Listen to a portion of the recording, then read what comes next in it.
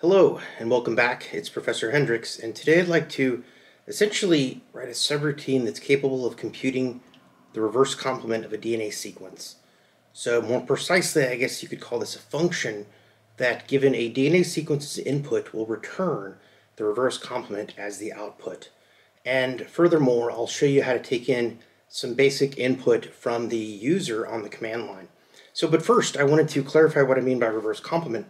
So in this diagram here, we can kind of see that reverse and complement can be thought of as steps in a two-step process. You can start with, say, for example, the trinucleotide ATG, and you can reverse it to get GTA, but then you can get the complementary sequence of GTA, and so by complementary, what I mean is replace each nucleotide with its complementary character. So the complementary character of G is C, the complementary character of T is A, and the complementary character of A is T, and so on. And so the result is the CAT, which is the reverse complement of ATG. Now we could have done this process in the other order. We could have first computed the complementary sequence of ATG, which would be TAC, um, choosing the complementary of each of these characters, and then reverse that to get CAT. So the reverse complement can be thought of as a two-step process of reversing and then complementing. And so I'm on the command line now, and so I'm going to go ahead and type in Emacs and create a new script. And so I'll just call this reverse complement. Basically what this script is going to do is it's first going to take in a DNA sequence from the user. And let's start off by just saying, how about print to the screen, please enter a DNA sequence. Okay, and then that's going to print to the screen, and then from the input from the user will access through a special Python function called input. And so I'll just say DNA equals input and just leave it at that. So that's basically going to take in from the user the input. And I think actually we could even make this string itself part of the input. Let me put that there and see what happens. And then print here response you have entered and then put a comma DNA. So this should in theory print to the screen you have entered DNA. So I'll try Python reverse complement. Please enter a DNA sequence and I'll just say DNA. You've entered DNA. Okay, so now maybe we want to make sure about spaces. So one thing here is I'll put an extra space here and if I wanted to be abundantly clear, maybe I want to put quotes around my DNA sequence just to make sure that I don't have any extra spaces before and after. So the way I might do that is I might want to put a, a, a quote. Maybe what I could do is I could put a single quote here at the end of this one and then put comma and then another quoted string with a single character. That looks a little bit weird, but the point that I'm trying to make here is you can put single quotes inside a double quoted string, and you can even have a double quoted string where the sole contents are a single solitary single quote. And that would be perfectly fine. And so if I did this and tried my DNA sequence, and then there it is. So notice that this put an additional space here. Um, that may be just something about the way it's printing this together. If I wanted to be abundantly cautious about this, I'll do one more thing, and that is to do what I did last time in my last video, which was do a formatted string. So in the case of strings, what I want to do is I want to put percent %s and then put that in quotes and then I'll end my quoted string here. And then what I'll do is I'll use that percent sign. And so the percent sign had a special function in formatted strings to map the string and its placeholders, in this case the percent %s, to the values in this tuple provided after the percent sign. And so in this case, it's just a single um, variable inside the tuple, but that's fine. That's a perfectly valid tuple.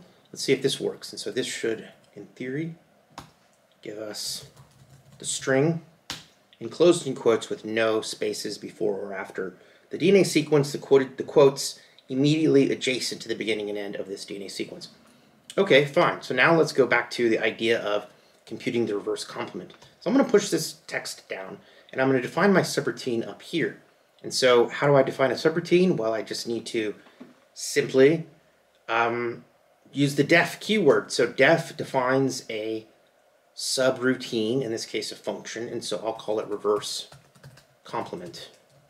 I'm going to do something here to illustrate an idea to you, and that is um, the fact that I can use multiple subroutines within a subroutine and have a subroutine call multiple subroutines, and to furthermore use this idea of this two-step process for illustrative purposes.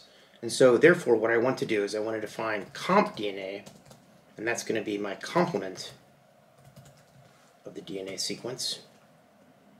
And then I'm going to do rev comp DNA is going to be the reverse of comp DNA. And then ultimately I want to return. But I haven't defined these other two subroutines as indicated here, so it's expecting that there should be a complement subroutine and there should be reverse subroutine. Let's first do the reverse subroutine. So I'll do another def function reverse. Now, do I really need a subroutine to do this? Because we saw that doing reverse would be basically colon colon negative 1. So I could just return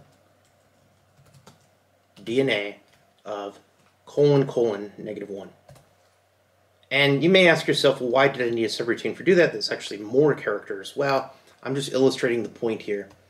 I think um, this illustrates how you could do a simple subroutine to do this task, and in some sense, reverse of DNA is sort of a more intuitive representation of the reverse than DNA bracket colon colon negative 1, which, unless you're experienced with Python, that looks kind of bizarre.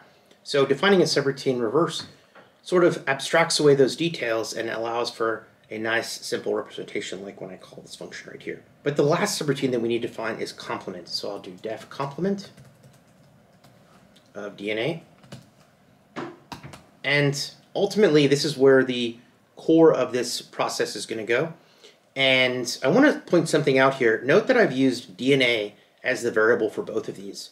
And the reason why I did that is to illustrate that even though I'm passing in comp DNA for reverse, the point is, is that there's nothing intrinsically complementary about the input to reverse. Reverse can act on any DNA sequence, whether it's previously been complemented or not. And it just basically takes that DNA sequence, takes that series of A's, C's, G's, and T's, and, re and reverses it. Secondly, I want to define this complement. So I need to define a dictionary. And we did this before. We had A mapping to T, and C mapping to G, and G mapping to C, and T mapping to A. And that defines our complementary dictionary. And so in this case, the dictionary is such that the key is any character and the value is the complement. And so I need to also define comp DNA, and this would be an empty string that's going to be our start of our complementary DNA sequence. And now I'd want to loop through the input characters for B in DNA. And I want to concatenate to comp DNA each character one at a time, but concatenate the complementary nucleotide, which can be accessed by comp of B. And then lastly, I would return the complementary DNA sequence. And so this should, in theory, be sufficient to compute the reverse complement. And lastly, I could print out some, some sort of print statement and say something like this um, the reverse comp. And I'm just going to do reverse comp for just to make them line up more easily and put percent rev comp DNA.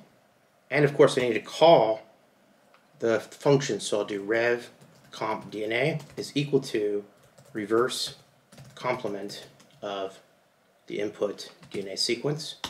Save and run so please enter DNA sequence. Here's my DNA sequence. Hit enter. And I got an error. Okay, fine. Probably have a typo. Complement. How about complement? So let's just change that to an L. And so now the name of our function here is the same as the name is when it's called, character by character, and that's required to run anything within Python. So simply save that and run it, and Python reverse complement.